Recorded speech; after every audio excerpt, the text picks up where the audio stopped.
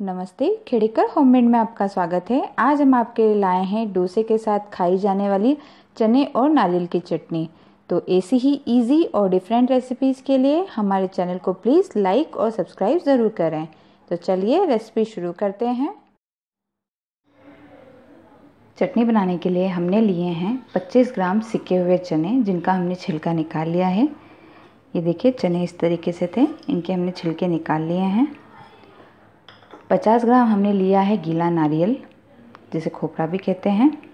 तीन से चार हरी मिर्च, कड़ी पत्ते, आधा चम्मच जीरा, आधा चम्मच राई, नमक स्वादानुसार और एक चम्मच तेल। अब हम एक मिक्सी का जार लेंगे, इसमें चने डालेंगे, जीरा डालेंगे, नमक डालेंगे हरी मिर्च डालेंगे और नारियल के छोटे छोटे पीसेस करके हम इसमें डाल देंगे।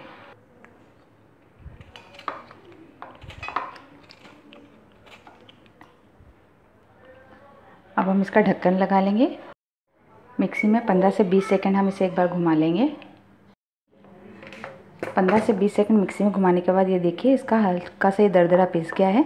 अब हम इसमें थोड़ा सा पानी डालकर इसे मिक्सी में अच्छे से चटनी इसकी बना लेंगे।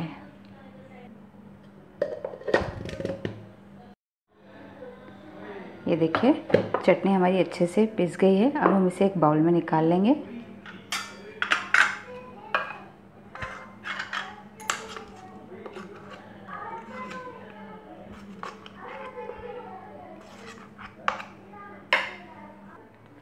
ये देखिए, चटनी को हमने एक बाउल में निकाल लिया है। अब हम एक फ्राइंग पैन गैस पर गर्म करने रखेंगे।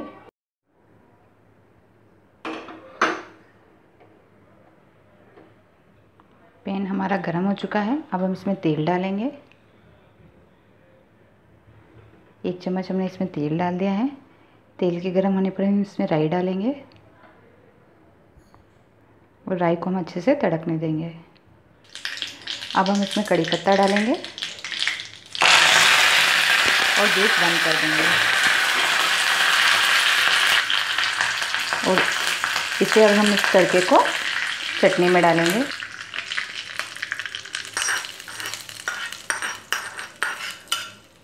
और इसे अच्छे से मिक्स कर लेंगे।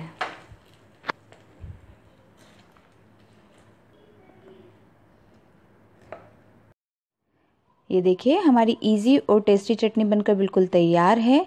तो आप भी इस रेसिपी को ज़रूर ट्राई कीजिएगा और अगर आपको हमारी रेसिपी पसंद आई हो तो वीडियो को लाइक और चैनल को सब्सक्राइब करना ना भूलें। साथ ही बेल आइकन पर क्लिक करें ताकि आपको हमारे लेटेस्ट वीडियो मिलते रहे। धन्यवाद, आपका दिन शुभ रहे।